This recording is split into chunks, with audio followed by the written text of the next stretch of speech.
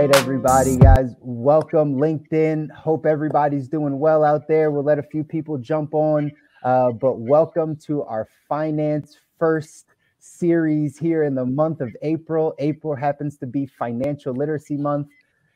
And we wanted to come on for this entire month and really just give you guys some jewels, some nuggets, some gems, some things that you can do uh, to continue to uh, improve that financial education, financial literacy, especially for our youth. That's why it's so important. Again, guys, I'm I'm Chris Mouzon. You guys know me as co-founder of financial of, of uh, United Agency. I'm your financial coach, financial planner, financial therapist. I like to call myself. Um, and I got some special guests on. I got my man Derrick, who's here, who's going to be with me the entire month. Yes, and this sir. was kind of our idea together to say, how can we get this financial education message out to people? How can we give parents and teachers and uh, educators more resources? And Derrick has an amazing network of, of people that he that he worked with and continues to work with. And that's why we said, well, you know what? Let's highlight some of those people. Let's get some of those people out there so that they can see and uh, be exposed to some of the great things that are happening. And so today we're on for our first show uh, with with uh, none other than Sam. And so Derrick, I'm gonna pass it over to you. Give a quick intro, and then we'll get into the show for today. All right, thank you, Chris. Yeah, this is a great idea, man. Finance first, um, super important. So I'm Derrick Wesley. I'm the owner and founder of Seedlyng Financial Education. We work with schools, banks, and nonprofits to provide our innovative financial literacy tools. We have a mobile app that we provide. We have a full year long curriculum for teachers. And I'm an educator myself at first. And so, helping teachers and making sure that whenever it comes to financial literacy, I want to make sure that they have every single thing that they need because they already have enough on their plate.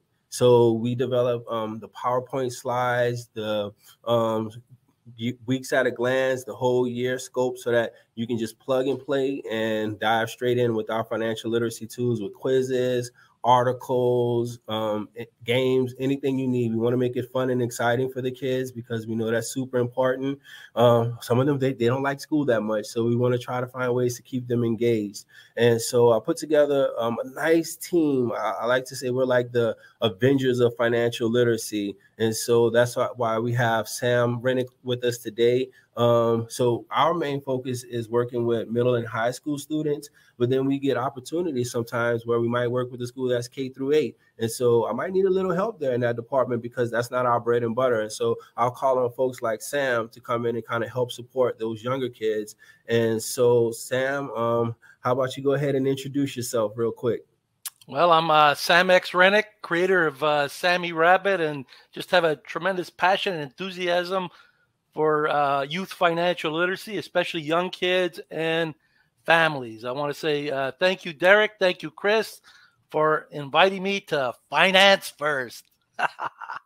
we appreciate we appreciate having you on, Sam. Absolutely, absolutely. All right, so um, I'll go ahead and throw the first question out to you, Sam. So I want to know. So I, I, brought up this whole thing about uh, um, being the Avengers of financial literacy. So what's your origin story? What's what my origin you? story? Yeah. oh boy. Okay, I'm gonna try. You know, I'm half Italian. I'm gonna try and give you a short origin story. Okay, so just give me a sign. Sometimes I, I get on these side uh, trips and and roads. I'm gonna just try and keep it to the Sammy Rabbit uh, story. This is my first entrepreneurial venture.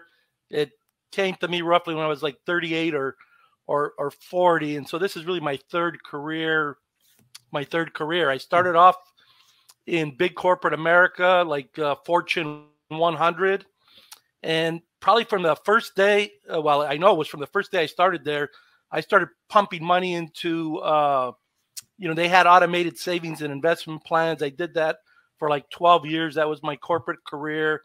Transitioned into uh, financial services did that for about eight years. For the most part didn't really enjoy it but there were certain elements that i did enjoy.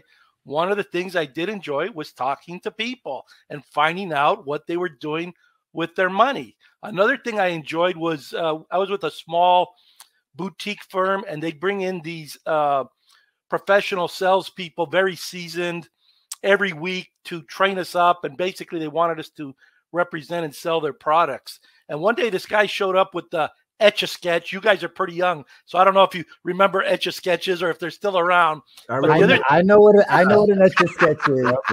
okay. All right. The other, the, the, the other thing he brought in was a bubble blower. so you know, I you know, I, I love stuff like that. In mm-hmm. fact, you know, it's kind of funny. I think uh, I forget if it was Derrick or Chris was mentioning, you know, uh, kids sometimes don't, you know, like going to school or like learning. I didn't really mind going to school, but what I really learned as an adult is that I like learning. I just didn't often like the way learning was uh, provided to you in structured schools. bring in a bubble blower, bring in an etch a sketch. and I'm like, you know, what what I wanted to know, what what is this guy, what is his angle, what is his pitch? And basically what he was encouraging us to do and I'm proud to say it was something I was already doing, and that was open up college savings accounts mm. for families and, and kids. And it mainly was a relationship builder. And then you give them an incentive or a little gift, the reward, the bubble, bubble blower etch a sketch. Anyways, why that is important is because it got me reflecting. Here I am about 38, 40 years old, and I'm starting to think, you know, what's my real purpose in life? yeah. And so he got me to thinking. I had now heard all these conversations, probably hundreds, if not thousands of them, people around your guys' age, it, it seems like to me, sharing with me their regret and despair for not having started to save and invest earlier. Yep. So when I started saving and investing at 21, I didn't have any real context like of what everyone else is doing. I just knew this is what I wanted to do. And I had some very specific reasons, like I wanted to get out of my mom and dad's house. Okay. yeah. So so that, that for me that was like very motivating. We had seven people in a one bathroom house. You know, it's like, okay, need to get out of here and you save and invest. For some reason, uh, oh, I, I had read this about you, Derrick. Like uh, one of your favorite uh, books is Rich Dad Poor Dad. Yes. And I, you know, I, I have read Rich Dad Poor Dad. In fact, I've read uh, As a Man Can Think It. I think you re- you you yeah, called that one out. You probably did also, Chris. And then you know there was a third one you had mentioned. It escapes me right now. Oh, uh, was it Thinking, Grow Rich? Rich? It was Thinking Rich. Yep. And I'm like, look, we we have that in common. We have several other things in common. But the book I was first introduced to when I was like maybe I don't know 11 years old was uh, Richest Man in Babylon. All right. And you know, I, I, took all these exhaustive notes, and I'm carrying them around with me. I'm like 11 years old. I'm probably the only 11 year old with like notes on the richest man in Babylon. That's Sam, amazing. Sam, Sam, let me stop you really quick. yeah, go ahead. That's huge. Like, how did you get your hands at 11 years old? How did you get your hands on the richest man in Babylon? Man in Babylon. All right. It might okay. So this this part of like goes to why I I kind of decided at that moment of reflection this might be my purpose. It seems like from the moment I was born, my dad was like uh, talking to me about smart things to do with money uh, or to, to get money, like working and, and things of that nature. So he said, Sam, you should read The Richest Man in Babylon, even though I'm 11. See, hmm. one of our premises is with Sammy Rabbit basically is kids can. They're capable. Don't talk down to kids, not kindergartners, three year olds, but you may have to translate or explain things. It's really a question how good of a teacher are you? Okay. And then have a have a reasonable expectation. They're not going to be able to give you the articulate all these great answers, say in kindergarten or first or second grade, but you're starting to seed them with the language, the ideas, so they become familiar with it. And as both of you know, and especially you, Derrick, education is a process. Yep. In terms of money, my thought is it needs to be cradle to grave. So my dad, Chris, he's the one. He, he introduced me to all of those, uh, not rich, uh, richest, uh, rich dad, poor dad, but uh, think and grow rich, all uh, richest man in Babylon, all that kind of uh, stuff. So when you combine that with, I, I like to share with people that I grew up in upper poverty. so, That's a great term, Sam. That's a great term. Upper poverty. upper poverty. We're not lower middle class. We were upper poverty. Okay, we we I found this out in college. It's the only thing I remember from my intro to economics class, and that's when the professor put the number uh, on the board. He said the poverty line is here. I don't know why he shared that, but he did. And for some reason, I kind of had an inkling of what my parents' combined total income was. And I was like, oh my God, we're at the poverty.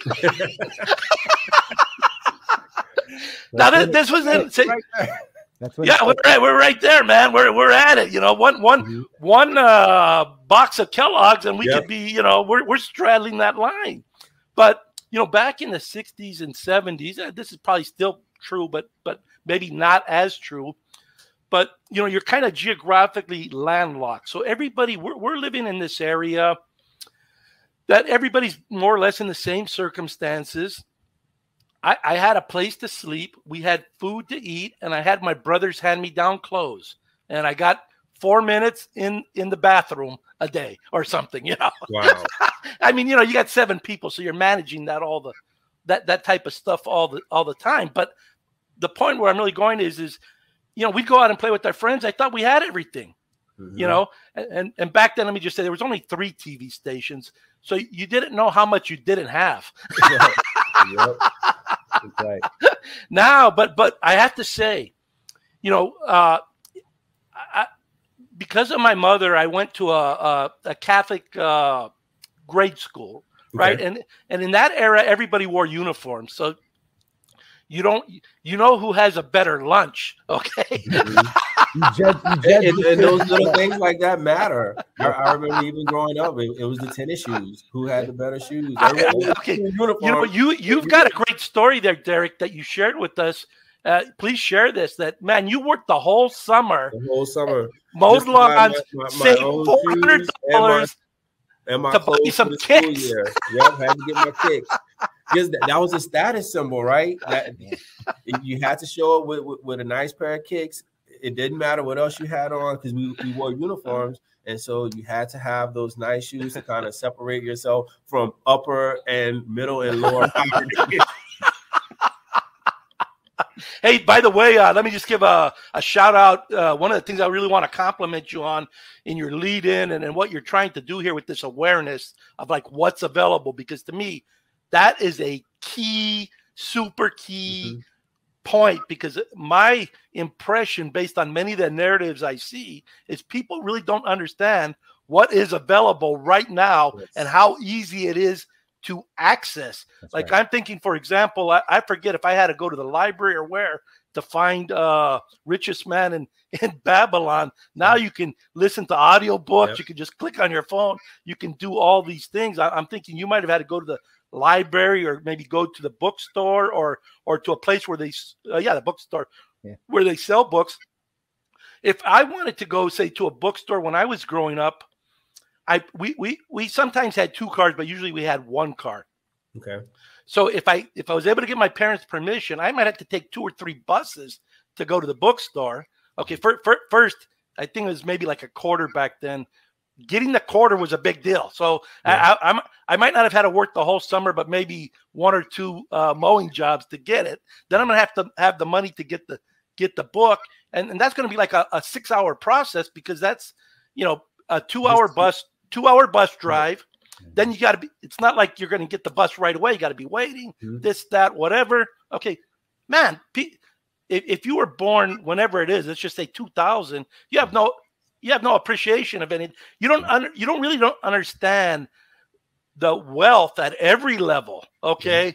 Yep. That we enjoy how it was created and what it's built on and and and what you have okay yeah. You know and oh. that you can leverage so yeah. kudos on uh one of you, let me just finish this out there right. I, I, wanted to recommend a book called of course we sammy rabbit has books so i, I want to mention that but uh, there, there's a book called those shoes those shoes uh, related to the kicks idea. Okay, you have that. Yeah. That's a great resource for uh, parents, and it fits into the theme you just shared. You know, this is a status symbol. It's a value, uh, mm-hmm. and you know, it's important to kids. That's huge. That's huge. I, go ahead, Derrick. So that, that was actually a great lead into my next question. Um, because I want to know, Sam, what advice would you give to parents raising kids today? because it's different than you know when you were growing up it's different from when chris and i were growing up so what advice would you give to parents that are trying to raise financially healthy kids in today's world? Well, first of all, I would give them applause, okay? Because it's not clear to me that every parent is parenting. so, yeah. so, so, so if you're like what I hear kids saying now, or kid, now when I'm saying kids, I, I uh, like 20 to 35 year olds. They're kids in your eyes. So. Okay, just, just that. Unfortunately, I'm at the point in life everybody's now like a kid. but uh, these people are parenting. They're putting the work in. They're putting the work yeah. in. Okay, and so let me just say, as, as from what I can determine, having been here 63 years, probably the most important job there is in life is parenting. Okay.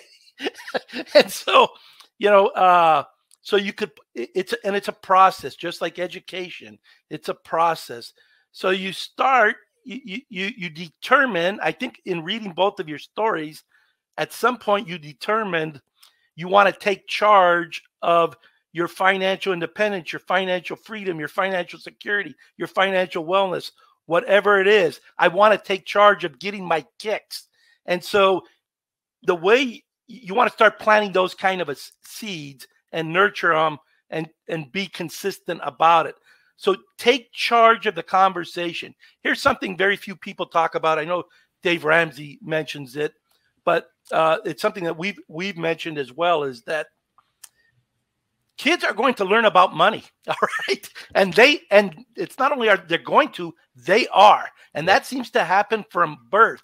The big question is are you going to take charge of that learning and conversation? That's so if they're not learning from you and let me just say they, they they and i should say learning from you consciously because parents they're going to be learning from you unconsciously. When, when you think about learning, and more of the research and studies are reflecting this. Okay, so if, if you look at it just like as biological creatures, you start off as a baby, you pop out, and you have eyes and ears, and all you're doing is watching stuff and hearing stuff. And you're almost like a little computer. You're yeah. starting to code. It may not be thinking, but what it is is it's feelings, associations, attitudes. These things are all happening. And if you go throughout the day, you may not say the word money, or you may say it, but you're like, oh my goodness, do we have money for gas? Are we going to pay the electric bill? And then you're, you're making these facial reactions, whatever they are. And mm-hmm. kids are coding and learning and taking all this stuff. And then around age three or four, they don't say, Mommy, Daddy, give me a savings account for college or for a home. They say, give me those fiery hot Cheetos. Give me, give me. It's all about, you know, consumer, cons- it's all about consumption and, and spending. Hmm. And so apparently, whether it's parents, family members, advertisers, whoever it is, whatever they put in there between maybe even in the womb, because apparently kids hear sounds and feel things in the womb. Uh, through age, whatever it is, three or four, they come out with the gimmies, the Iwanas, or whatever mm-hmm. it is, which tells me something there is happening. I want to be a part of that conversation. All right. Absolutely. To me, to me, if you're like a sports player, this is where the game is being decided. That's mm-hmm. where I want to be. I want to be where the game is being decided. Now, that's not to say we need financial education and all learning at every level. It's a it's a layering. That's how you master things. Yep. Master, mastery through repetition. Absolutely. You know, but but where these feet, what you know, a lot of the research shows people aren't thinking out these financial decisions. Now that that's mm-hmm. what ultimately we they would be better if we can get them there. Okay, it's a heavy lift, right. but people are largely making decisions out of feelings and attitudes and things of that uh, Sam, nature. Sam, you, you're, you're hitting on such a big point, and it's kind of where I affect, right? The reason why I love having these conversations with you and Derrick and the people we're going to have on this month is is because we don't always impact the children. I get a chance to impact the parents a lot, and I mm-hmm. have these conversations with them about what the, your child is seeing. I always say that you know children are gonna gonna uh, do do what we do, not what we say, right? And so if they see you spending money crazy or right like buying the lavish things or doing like that's going to become their habits. Even when you tell them hey we're broke. Hey we don't have it. Hey we can't get that. Even if you say that they aren't picking that up. They're watching what you're doing. Yep. and so as your spending habits go that's what your children are going to have right? And so coming into affect the parents is huge in this in in this place. And I, I i'm gonna let you respond but i want to transition you and say like how did you get to sammy rabbit? Because that's something that again parents need to understand. These are resources that are mm-hmm. out there that even if we're working on the parents habits these are things that can be putting the right mindset and the right habits in the children.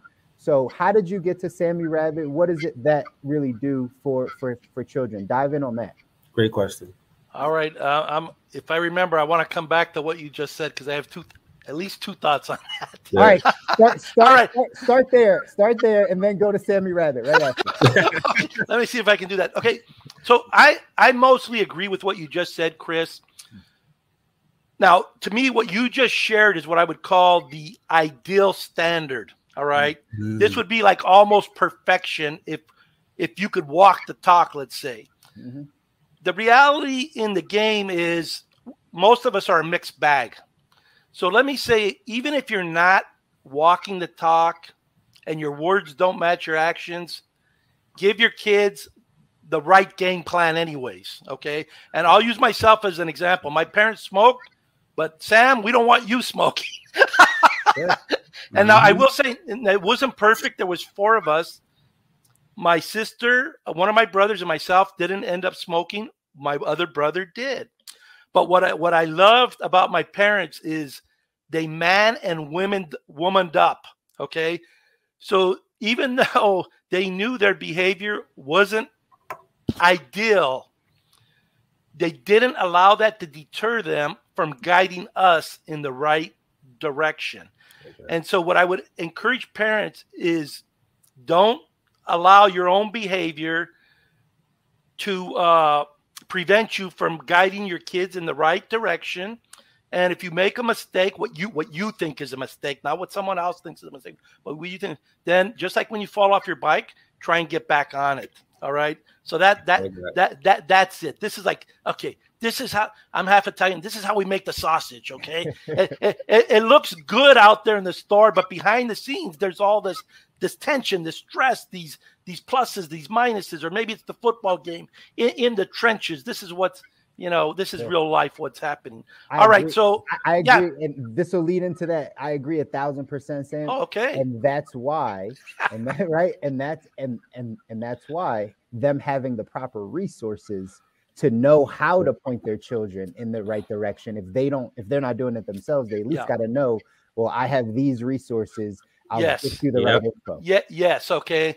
And so, uh, okay, so Sammy the Rabbit, this now goes back to the first thing. So when I'm thinking about all this, I'm thinking, wow, this might be my purpose and mission in life because, uh, you know, I happened, I figured out, I got this great advice. Not only did I get it, I actually acted on it. okay. Per- a lot of people don't do that. Oh, okay. So, okay. A little side trip you know, one of what I think is the big, you know, I don't know, lie might be too strong of a word, but you know, it's like everybody says, "Oh, I wish somebody would have told me this earlier." Let me just say, I think probably most people were told, like, let's just say this: you should save money, and mm-hmm. I I relate it to health. Like everybody knows, exercising, walking is good yep. for you, but who's out there doing it? All right, okay. People so, that need to do it aren't doing it. So, so you you do need to have the information but then you need to execute on it. And then you need to try and increase your execution because maybe it starts off perfect, but maybe it isn't, and you just keep elevating it. So I'm thinking, you know, what can I do? And not only what can I do, this is the question I ask myself. I like to ask mm. everybody, you know, if I could only teach an adult or a child one thing about money, what would it be? All right. And so since I read The Richest Man in Babylon, I thought for myself, what worked for me the best in terms of putting me on the right path was this idea of paying yourself first. Hmm. And so I translated that into a message saving is a great habit. Yeah. I'm a we're, we're the habit people. From day one, we've been the habit people. It's in our songs, in our books. get in the habit like Sammy Rabbit, yeah. saving money all the time. Chris, you can do it. So can you. Right so can you, Derrick. Now get to it. Now get to it. Yes, the right mindset and all that. So I'm thinking if I'm going to deliver this message for kids, you know what you know what's a good vehicle for it? Ah, and I'm kind of a what I'll call the I studied, you know, like I guess Tom Brady studied under Bill Belichick. I studied under Mary Poppins. All right. okay. and, and, and Mary Poppins was like, uh, put a little sugar with your medicine. Hmm. So it, it's this idea people now talk about uh, edutainment. Can it be? Can it be? It's got. But see, let me just say, it's it can't be just entertaining. It's it's got to be educational, but can it be more engaging? You know, and to me. Hmm to me, my view on this whole financial literacy, financial wellness, whatever you call, want to call it, to me, my view of it is it isn't a math problem, it is a communication mm-hmm. problem. And so we all speak different languages. And it turns out, you know, maybe 10% of the world speaks the math language. The other 90% of us, you know, I speak pizza. All right. so you know, share share with me how I can go from small to large with pepperoni and sausage. I like it all makes all the sense, man. Derrick, I get it, man. We get it. Yes. Why need to save for this pizza? I will save. yeah, I'll save, and plus I get an eight percent return or twenty or thirty three percent because it's it's much bigger you know and so uh you know that that's the thing can we can we we're the teachers can we bring these subjects to life for mm-hmm. the kids and then get them you know, I'll use the word hooked or engaged, whatever it is. And this is one of the things uh, we do in, in our work. This came, you know, a little bit later, but uh, we started putting, we've always stressed habit formation, but then we started uh, stressing dreams. What's your dream? You know, my dream, and you can have multiple dreams. One of my dreams was I wanted to get out of that house. Okay. Mm-hmm. And so I was willing to work just like Derrick was willing to work for those kicks. You know what? Not that I encourage kicks, but let me just say if that's what motivates you and that's your dream and that's your goal, let's go for it because it's it's it's developing this earning. In your case, it, what you went out and earned it. Okay, I think there's a tremendous value in earning. Yep. You know, so the that's great, great example. So that that's what that's what you know why we created Sammy the Rabbit. We started with storybooks. Okay, and you know, I might do it differently now, but largely I'm glad we started with the storybook because I'm a big believer, and this is something I learned from my dad. He he was self-educated in reading. and so I like the idea of saying I'm helping to build kids reading and writing skills in addition to their, you know, money skills. That's huge. That's, That's huge. That's huge. I love that. I love that. So, um, Sam.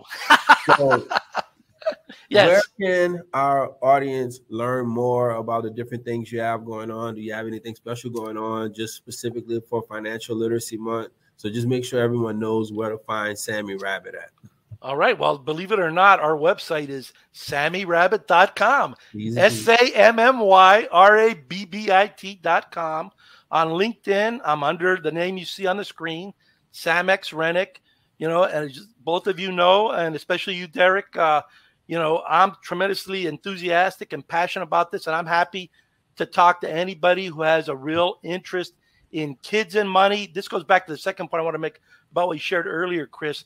When you're talking about teaching kids, you almost are simultaneously talking about working with parents. Okay. Yeah. It's yeah. not like, you know, for example, most of the time I spend now is talking to parents or teachers or bankers. It's to adults to try and get access either to the kids or get them to start teaching the the, the kids. Right. So uh, you know that that they they go together. So kudos to you. You got to get the you, you want to get the parents on board. And see, this was another thing in our in our house, and I'm sure it's it's true in your houses. Is is uh, what my mom and dad tried to instill with us was like this family teamwork. Mm-hmm idea. Now, I will say my dad and I think my mom to a certain extent, she didn't articulate it much, but see, he had this plan or vision. Like, if we're going to get, say, from one house to two houses, And by the way, these were my grandparents' houses. but,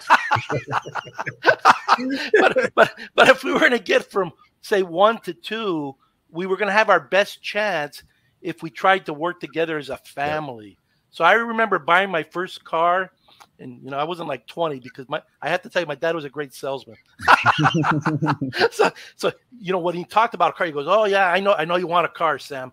But you know, with the car comes like uh, gas and insurance, mm-hmm. and cars break down, so you're going to have to really work a lot of jobs. And and he kind of he kind of brought to me the the rich one of the rich dad poor dad questions was like, you know, while you're working, your car's going to be sitting out there in the parking lot. Is your mm-hmm. car working for you, or are you working for your car? You know, but so anyway, so uh, when when all of us eventually got our cars, basically what we did is we tried to minimize the debt, and we did that by each of us like, okay, I'll put a thousand towards Chris's car, and then we paid each other back on some kind of a schedule. So it was always like, this is how you, you know, this is how you can go from upper poverty to lower, I guess, I guess lower middle class yeah. or what, whatever the next step is. We yeah. didn't make any big jumps. we were like four yards at a time if you go to football. we're, we're, grinding it, man.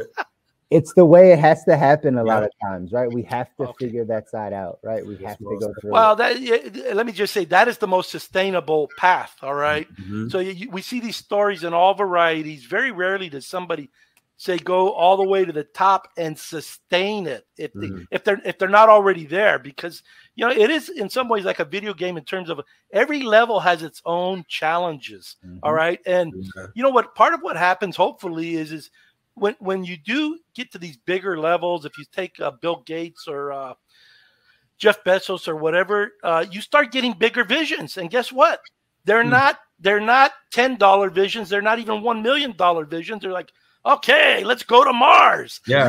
that that's mm-hmm. going to take 50 billion dollars or 5 trillion, you mm-hmm. know? Yep. And these, these people are very uh you know, in, in in my view, they largely get a bad rap. Some of them probably get the rap that they deserve. But mm-hmm. you don't accidentally become a billionaire. That's right. right. Good point. Very good point. You don't trip and fall into a billion dollars. Uh, yeah, yeah. A lot, a lot of things can happen accidentally, but getting a billion dollars is usually through some focused effort. Now, there might be some element of luck to it, but what's usually associated with it is a lot of focus and hard work. Yep. Right. Yeah. That's what gets you there. And that's that's the message we got to start instilling in this generation. Is this even the younger generation, right? Of this microwave like it's not going to come overnight but mm-hmm. if we mm-hmm. can put the right ingredients in and you can start to execute on it like you said sam and just continue to work you will get to that life that you're looking for that financial level whatever it is you'll be able to get there through the work so you have a much better chance okay and that that's yeah. really in my mind that's really what it what it is trying to uh, you know put yourself in a better position uh, so you have a better chance. I mean, look, things can happen out of nowhere, and that's something that's happening. It seems all the time now. It's like you know, in my mind, when I, I started right at 9-11, you know, mm. so okay, I, I didn't know 9-11 was coming. Right. Then we're just starting to get a little traction, and the banking crisis hits. Yeah. Right? then then we have COVID. Now we have the the breakout of the war in Ukraine.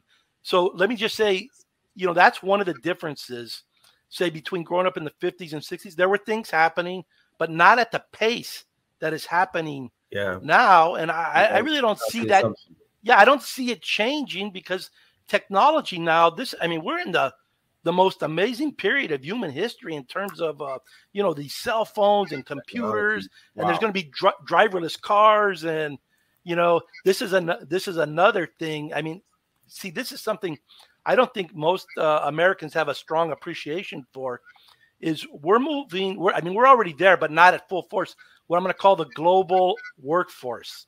Okay, mm-hmm. and so so if you're looking, say, like at kids, you know, I I grew up in uh, you know in, in many ways, you know, I, I grew up in the era of uh, what what is it? Sticks and stones can break your bones, but names can't hurt you. All right. right, right. So mm-hmm. you, you you had to toughen up. All right, and yep. so there's no guarantee. Say, let, us just say we're an economic, a global economic leader right now, more, more, more, more, more than less. But in uh-huh. ten years, that may they, that may not be true because we're all forming relationships with people all over the world. Yep. And what I think is going to happen, just like this conversation, we share certain values. That's why we're here together. Exactly. The tech, and the technology exists right now that mm-hmm. we can we can do it. So it doesn't really matter that much if you're, you know, it, it, it may a little bit, but it, I don't think it matters. It certainly doesn't matter as much as it used to. Like whether you're Chinese, whether you're Russian, you're mm-hmm. Ukrainian, you're like, oh, you read this book? Why did you read it? What's your story? Oh my goodness, your story mm-hmm. is very similar to my story. How do we create a new story to move to the next the next level? Is there a way we can and and man, you know, it's so happen. it's gonna happen. It, okay, it, it's happening, but you got to be you got to be tuned tuned into this so you can outsource work. You know, it's mm-hmm. like sometimes I, I, you know, I know there, there's a lot of kids who are still, uh, you know, developing, let's say, a strong work ethic.